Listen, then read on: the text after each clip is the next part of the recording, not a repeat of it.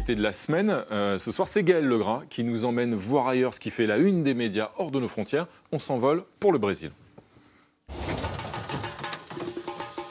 Quand on dit Brésil, on pense tout de suite samba, tudo bem, football. Désormais, nous pouvons y ajouter une nouvelle spécialité nationale étonnante, la production massive de fake news. O ministro do Turismo, Gilson Machado, publicou em uma rede social uma suposta capa da revista norte-americana Time, que mostra o presidente Jair Bolsonaro e abaixo a frase Prêmio Nobel de 2022. Cette couverture de Time postée par Machado Neto sur Twitter a été partagée par Ricardo Salles, ex-ministre de l'Environnement et membre influent de l'entourage du président brésilien. Selon Machado Neto et Salles, Bolsonaro, qui s'est rendu cette semaine à Moscou, a convaincu Poutine de retirer ses troupes de la frontière ukrainienne. Sur Instagram, Salles a même posté cet article de CNN. Le président Bolsonaro évite la troisième guerre mondiale.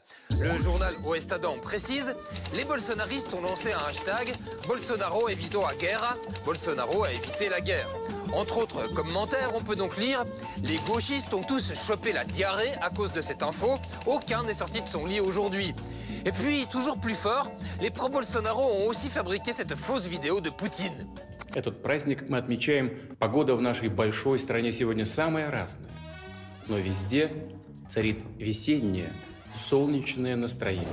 Pour le magazine Veja, les fake news bolsonaristes atteignent un niveau sans précédent.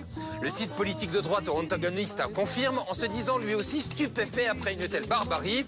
Et Globo News a tenté d'analyser le phénomène. É apenas uma forma do bolsonarismo tentar ganhar algum proveito eleitoral de uma visita que não tem nenhuma conexão com o conflito internacional.